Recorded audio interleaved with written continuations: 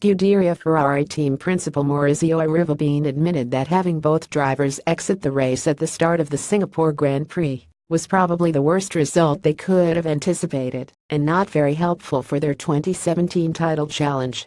Despite the disappointment however, the Italian has urged fans not to write the prancing horse off just yet, as there are still plenty of races left in the season, and Ferrari are certainly not ready to give up the fight just yet.